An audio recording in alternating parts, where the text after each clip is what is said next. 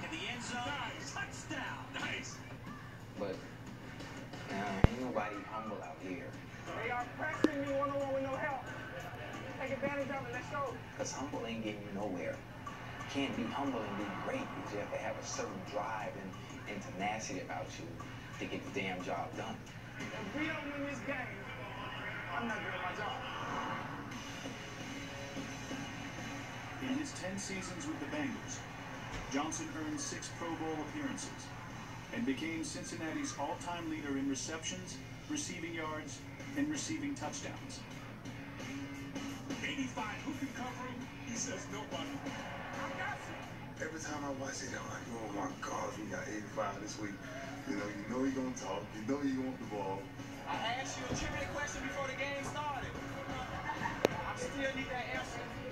Like he has some of the quickest feet that I've ever seen. And you talk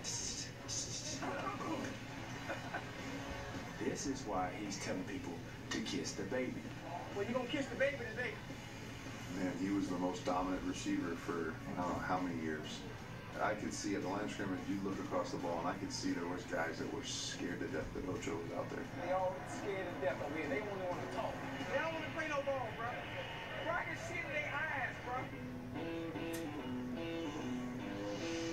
Chad Johnson created a persona that was larger than life.